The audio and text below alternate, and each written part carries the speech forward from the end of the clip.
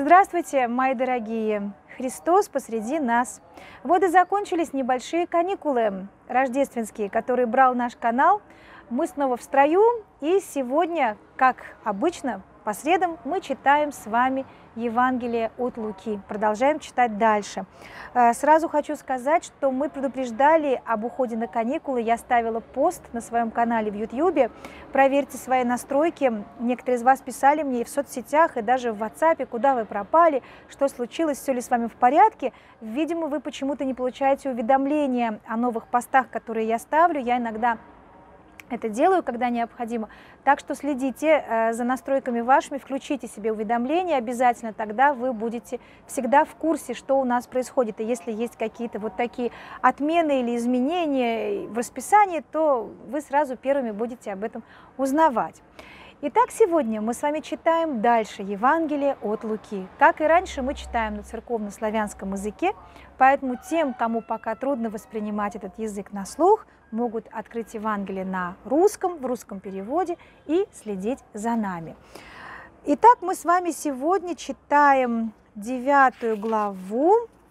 Это будет э, зачало 43 и 44 а стихи с 18 по 28. Мы с вами читаем сегодня два зачала. «И бы всегда моляшися един, с ним беху ученицы, и вопроси их глаголя, когомя глаголют народе быти, они же отвещавши Реша, Иоанна Крестителя, и ниже Илью, друзі же, яко пророк некий от древних воскресе. Рече же им, вы же когомя глаголите быти. Отвещав же Петр рече, Христа Божия. Он же запрещ им, повели никому же глаголоте сего, рек, яко подобает Сыну Человеческому, много пострадать и искушену быть от старец и архиерей и книжник – и убиену быти, и в третий день восстати. Глаголоши же ко всем, аще кто хочет по мне идти, да отвержется себе и возьмет крест свой и последует ми. И же бо аще хочет душу свою спасти, погубит ее, а и же бо погубит душу свою мне ради, сей спасет ее. Что бы пользует человек, приобрет мир весь, себе же погубив или отщитив – и же бо аще постыдится мне и моих словес, сего Сын Человеческий постыдится, егда приидет во славе Своей и очи и святых ангел. Глаголю же вам воистину, сутницы от здесь стоящих, и же не имут вкусите смерти, донде же видят Царствие Божие. Вот эти два зачала, связанные между собой, одной, по сути дела, мыслью, которая была очень важна в тот момент апостолам и также важна и нам с вами, нынешним, теперешним христианам, а именно каково наше отношение ко Христу, за кого мы почитаем Христа. Этот вопрос звучит сегодня так же актуально, как он звучал тогда для апостолов. И мы с вами сейчас об этом поговорим, и э, я расскажу вам о том, что говорят святые отцы на этот счет. Но для начала, как всегда, мы определимся с географией, с географической точкой. Нам интересно знать, в каком месте проходил этот разговор Господа с учениками. В Евангелии от Луки не сказано, где происходила эта беседа Господа с учениками. Однако беседа эта описана еще у Матфея и у Марка, и там названо место Кейсария Филиппова. Кейсария э, – это город, названный в честь императора Рима, да, в честь кесаря. Поэтому Кейсария у нас была не одна, у нас было точно известно, что по крайней мере две. Была Кейсария Стратонова у моря и была Кейсария Филиппова, соответственно, во владениях тетрарха Филиппа, одного из сыновей Ирода Великого, на самом-самом севере Израиля, где уже граница с Ливаном, там же рядом граница с Сирией. Это так называемая Верхняя Галилея. То есть, кто представляет себе карту или бывал у нас от Галилейского моря, которое мы обычно с вами, помните, посещали, да, и вокруг него на автобусе объезжали, это еще севернее, еще вот туда выше.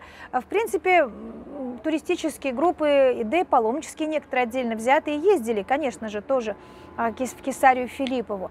Сейчас это место называется Баниас, это арабское произношение древнего греческого названия этого места, потому что там именно жили греки, там был храм богу Пану, и отсюда название места Панес или Банес в арабском произношении. Во времена же Христа греки, эллины, язычники, конечно, там тоже жили, но жили они уже вместе с э, евреями, то есть народом израильским, с теми израильтянами, которые жили вот так вот высоко да, на севере страны.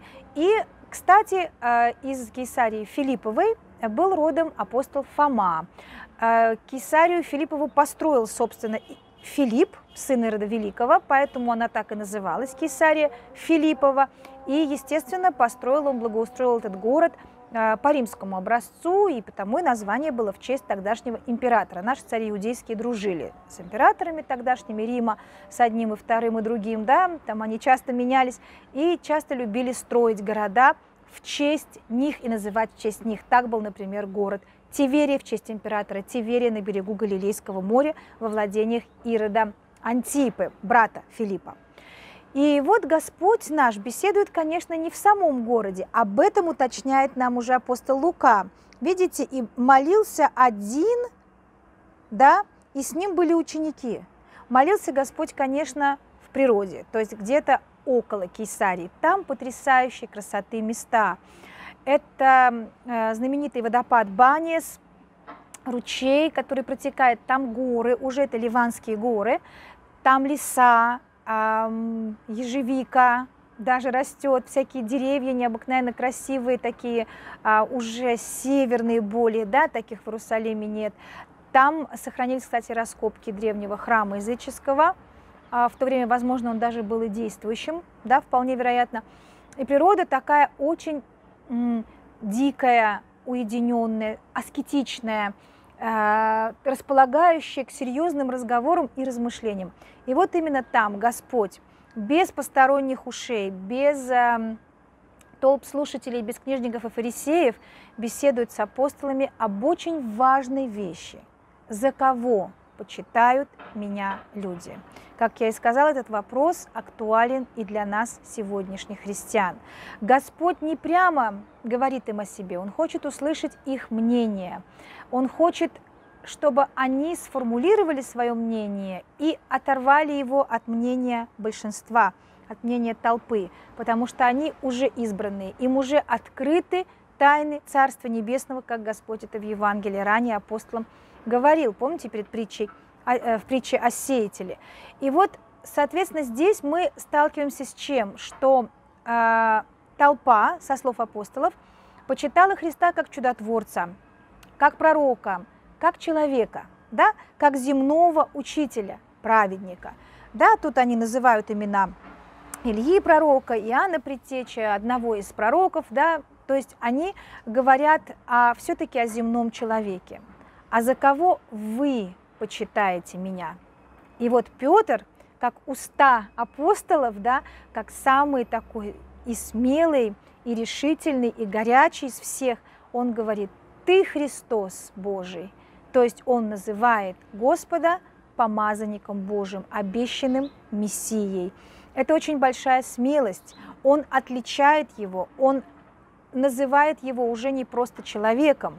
И действительно, а, решимость Петра здесь эм, по внушению Духа Святаго может только быть, как Господь и говорит, не плоть и кровь открыли тебе, но Отец мой Небесный, да, то есть от Бога Петр эту мысль получает, потому что по человечеству, если бы рядом стояли фарисеи, да, садукеи, они бы спросили, на каком основании ты так богохульствуешь, святотатствуешь, ты называешь человека Богом, Сыном Божиим, и не просто Сыном Божиим, как метафора, в смысле, что он праведник, да, истинный Сын Бога Всевышнего, а что он Христос, помазанник, Мессия, да, Христос это Мессия. То есть он сказал, ты Мессия Сын Божий, да, по-другому. И что бы Петр ответил? На каком основании? Да ни на каком основании. Вот сердце горит и знает, что это Христос. Вот так бы он, наверное, сказал. Я сердцем знаю, что это он. Нету никаких доказательств у Петра, никаких объяснений. Чудеса, вы скажете, творил. Да, но Илья Пророк тоже творил чудеса, и Иоанн Креститель, возможно, тоже мы об этом просто не знаем из Евангелия. И чудеса творили древние пророки, и из мертвых воскрешали. Это не является здесь неопровержимым доказательством божественности Господа Христа. Соответственно, у Петра это вдохновение, это озарение, по которому он это говорит. И у других евангелистов э, мы с вами читаем да, тоже, что, и также у Луки, что Господь запрещает им говорить об этом и распространять этот слух, пока Христос не воскреснет и рассказывает им о том, что Он пришел для страданий. Раз они верят в то, что Он – Бог и Спаситель, значит, можно уже открыть им будущее о нем, чтобы они постепенно к нему подготавливались и уже осознавали, зачем он пришел в этот мир. И вот отсюда, отсюда э, и наше с вами восприятие, кем мы почитаем Христа. Сейчас каких только нет, да и не только сейчас. Почему сейчас? Да во все времена люди читали э, какие-то там, как один э, пишет э, толкователь этого места в Евангелии, люди, прочитавшие полторы книги, как бы, да, они считают, что они уже могут рассуждать о личности Христа и говорить нам, что это был философ, или это был революционер, или это был мыслитель, это был праведник, раввин, там, ну, каких только нет вариантов, да, Действительно ли мы до глубины души осознаем и почитаем Господа нашим Богом и Спасителем? Это огромная ответственность, это огромное доверие Ему, да? И как продолжение этой мысли Господь уже обращается к более широкому кругу слушателей. Возможно, в тот же день, возможно, в другой, и Лука просто сопоставил эти два момента вместе у себя в Евангелии. Он говорит, что те, кто хочет идти за мной, должны отвергнуться себе, взять свой крест и идти за мной. То есть если вы веруете, что я не просто праведник, не просто пророк, а я сам Бог ваш, то вы должны принимать все, что я вам даю. Вот это и есть нести свой крест. Что такое несение креста? Да? Это на самом деле терпение с любовью, благодарностью всего, что с нами происходит в жизни, с пониманием, что все, что с нами происходит, это под любовным присмотром Господа нашего, под Его любящим взглядом, Его любящим оком, да, Его щедрой рукой нам данное. И если даже это горькое и тяжелое, оно дано для исправления, для лечения нашего. А как мы с вами знаем, что врач да, часто прописывает нам тяжелые процедуры, прописывает нам горькие лекарства, и мы терпим их, понимая, что это нас вылечит. Да? Только от Бога почему-то мы не хотим терпеть, как правило, да, никаких тягот. Мы полагаем, что Бог – это бюро добрых услуг, который, который должен нам беспрерывно просто помогать. Это очень на самом деле э, типичное ощущение. Я точно так же, как и вы, да, часто очень э, ловлю себя на том, что мы ждем от Бога исключительно благ. Благ, при том земных, помощи в наших скорбях, в наших трудностях, в наших недоумениях, э, в житейских даже делах, да, в наших внутренних состояниях, когда у нас уныние или депрессия или страхи. Мы ждем поддержки, помощи и так далее. Это правильно, но с другой стороны мы не должны забывать, что Бог только знает, что нам полезно, соответственно, временами могут быть и горькие лекарства, и очень горькие моменты, которые нам нужно с большим терпением и доверием к Богу терпеть и понимать, что вот это и есть наш крест.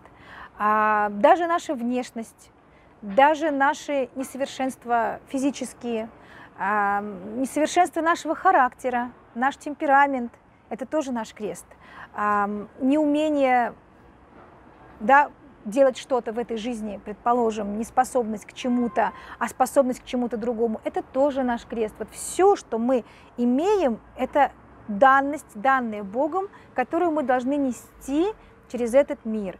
Отношение к нам других людей, возможно, даже кто-то в жизни сталкивался с неприязненным отношением, а, что мы христиане, например, и какие-то мирские вещи нам не близки, и даже имея друзей, мы иногда не можем разделить с, ним какие-то, с ними какие-то удовольствия или интересы, а, потому что мы христиане, и у нас другое отношение к вещам, да, мы и любим этот мир, и не любим этот мир одновременно.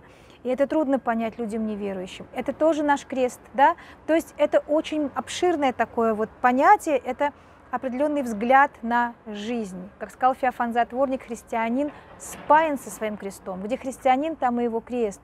И поиск благополучного, а, счастливого, спокойного жития – это не христианский образ мысли и жизни. На самом деле здесь такой момент, даже понимая, что мы несем крест и это нужно, мы стараемся под этим крестом как-то пристроиться, чтобы нам полегче было его нести. Как, например, вот у кого болела спина, у меня она болела довольно сильно в юности, в молодости.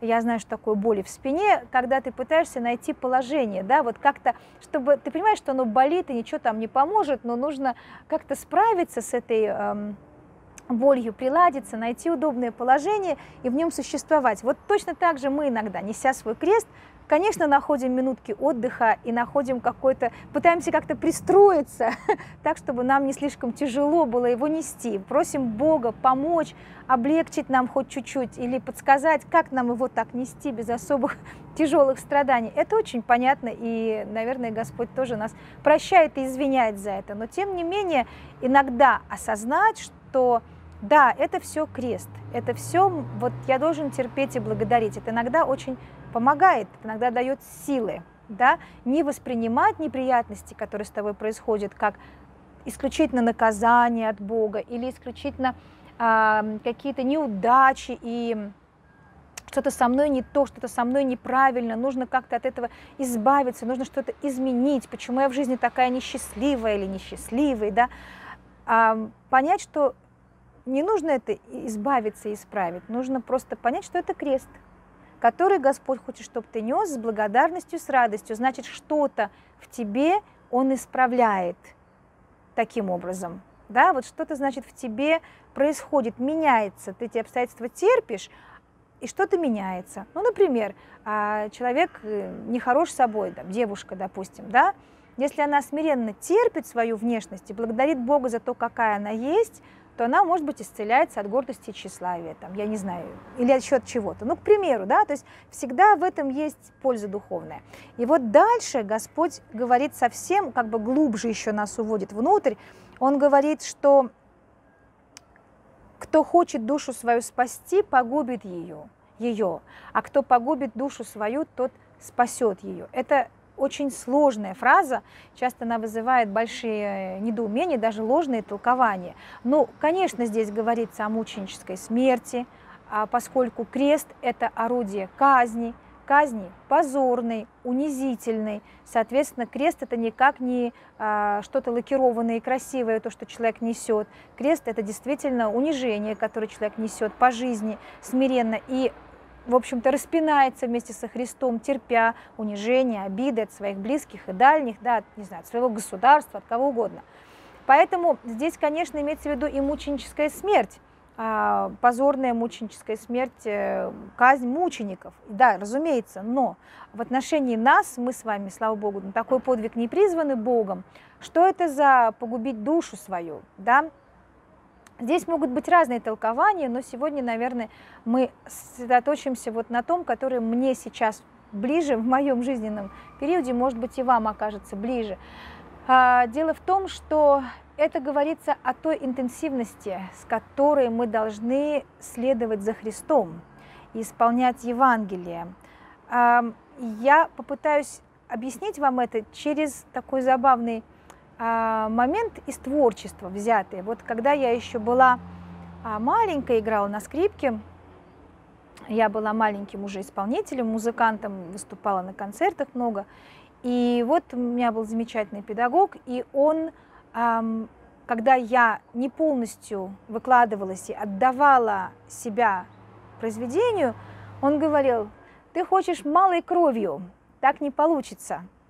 И потом, уже когда я занималась театральным делом, Ирина Львовна Горелик тоже в каких-то этюдах мне говорила, знаешь, такое ощущение, что какая-то часть твоей души не работает. Я ее прекрасно понимала с полуслова, потому как, видимо, у меня есть чувство самосохранения. вот. И действительно, особенно если материал трудный, э, то как-то хочется так себя от лишних волнений, неприятных эмоций как-то отгородить и где-то там наиграть, как актеры говорят, да, но не пропускать это слишком уж сильно через свое сердце. Так вот, наверное, это же самое имел в виду здесь Господь. Если мы будем пытаться сберечь душу свою от страданий, от скорбей, от слезной молитвы, от глубокого искреннего эмоционального покаяния, от глубокого сопереживания другим людям, от волнений за других людей, горячих, сильных волнений. То есть, короче, если мы не будем следовать Евангелию со всей отдачей, то мы будем как бы щадить свою душу, беречь, оберегать ее, упаковывать ее в теплое одеяльце и Э, так сказать, баюкать на ручках, да, чтобы она у нас отдыхала. Так вот, тогда мы ее погубим, потому что Господь требует от нас очень большого сердца и искренней отдачи евангельскому слову, следовать за Евангелием всей, всем сердцем, чтобы не было какого-то краюшка души, которая не работает. И в этом смысле это тоже несение креста, это тоже скорбь, принимать чужие скорби – на свое сердце, переживать искренне и горячо за своих родных, искренне и горячо молиться за них, сочувствовать другим людям, не быть равнодушным, это тоже крест. Гораздо легче жить в таком безразличии, отстраненности. И вот, наверное, это сейчас близко мне, моим размышлениям и, наверное, может быть близко кому-то из вас. И вот Господь даже подчеркивает, как бы усиливает свою мысль, потому что что будет пользы, если приобретете весь мир, а себя погубите или потеряете? То есть даже если ты в этом мире очень комфортно и мягко проживешь, отстранив себя от Евангелия, от несения креста, от страданий, от э, скорбей, а дальше что? Да, какая польза, если ты при этом губишь свою душу? Значит, душа христианина должна работать должна трудиться, она не может спать, почивать и лениться. Мы должны находиться в духовном труде, духовной борьбе, духовном бдении. И, кстати, у некоторых святых отцов сказано, что борьба со своими страстями, со своими грехами – это тоже несение креста. И тоже для этого требуется очень большая отдача и энергия, и сила, и воля наша – вот так интересно, вот такой маленький кусочек Евангелия, по сути дела, и столько здесь для нас сказано. Дальше же Господь говорит фразу э, о том, что кто постыдится моих словес, того Сын Человеческий постыдится в веке будущем, то есть да, во втором пришествии, в Царстве Небесном. Действительно, вот все, о чем мы сейчас говорили, требует мужества, исповедничества – позиционировать себя как христианин, не подделываться под этот мир. Да, это тоже несение креста, кстати. Но Господь говорит, терпите, потому что если вы постыдитесь моих словес, постараетесь улизнуть с уроков, да, то и Сын Человеческий потом постыдится вас. Это очень страшно. Страшно оказаться не учеником Христа. И последняя фраза относится уже к следующему зачалу о преображении, который мы будем читать с вами, даст Бог, в следующую среду о том, что э, из тех, кто находился в этот момент со Христом, никто не увидит смерти, пока э, не увидит Царствия Небесного, грядущего в силе. Что это означает? Это уже относится к преображению, поэтому об этом мы с вами уже поговорим э, в следующую среду. Я надеюсь увидеть вас всех завтра на нашем утреннем кофе. А, как обычно, в 8 часов утра по Москве мы встречаемся на моем канале. И мне осталось только пожелать вам хорошего вечера и помощи Божией во всех ваших делах. Всего самого лучшего. До свидания.